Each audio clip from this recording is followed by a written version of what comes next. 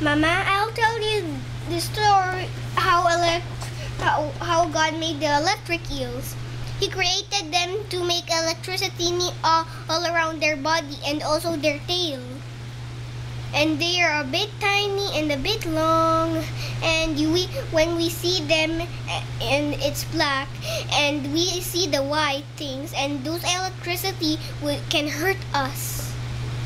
And um, those blue ones are called electricity, and and that's the end, ladies and gentlemen.